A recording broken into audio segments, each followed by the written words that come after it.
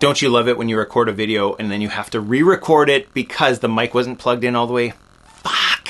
Hey guys, thanks for tuning in. This is the second time I'm shooting this video because the mic wasn't plugged in properly and it wasn't picking up audio. So, the first one, completely blank, no audio at all, me just moving around. I wanted to shoot this video today and talk about BMR, so your basal metabolic rate or resting metabolic rate. This is something everyone has.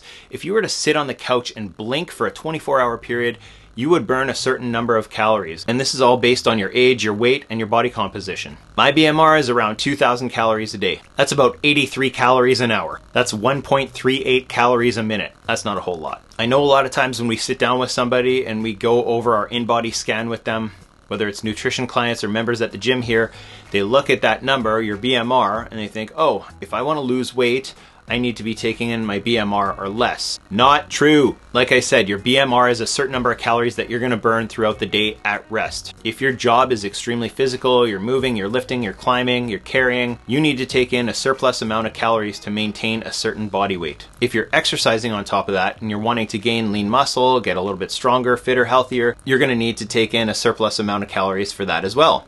When I say surplus, I mean finding that balance between gaining weight, maintaining your weight, or possibly losing weight if that's your goal. With over 20 years in the fitness industry, I've seen people try to take in their BMR to lose weight or less than that. And even though they did see a bit of a change in their weight, they ended up gaining it back and more because it wasn't sustainable. Wearing a fitness tracker can give you a little bit better idea of how many calories you're burning throughout the day if it is 24 hour monitoring. If your goal is to gain weight and put on some lean muscle, you need to look at your basal metabolic rate, how many calories you burn in that 24 hour period, plus daily activities, how many calories you're gonna burn doing your daily activities, whether it's work or play. And then if you're exercising, you need to look at that, how many calories you're burning as well. It does take a little bit of trial and error, but you need to find that balancing point if the goal is to gain, maintain, or lose weight. The caveat to not taking in your BMR as your daily calories is if you are extremely overweight. So whether you have 100, 200 plus pounds to lose, you're extremely sedentary, and you're taking in an extreme surplus of calories to begin with. The takeaways I want you to get from this video are one,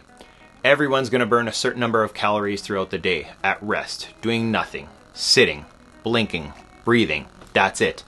That's enough calories to sustain life. Two, if you're exercising and you have an active lifestyle, you're gonna need to take in more than that BMR to be able to sustain that. And if you wanna see muscle growth and you wanna see better health benefits, you need to be taking in a surplus amount of calories to that BMR. Three, if your goal is to lose weight, you still need to be taking in more calories than what your BMR shows. It's gonna take a little bit of work, a little bit of tracking, a little bit of trial and error, but your goal would be to not have a surplus amount of calories at the end of the day. Four, doing anything drastic that's not sustainable isn't going to help you.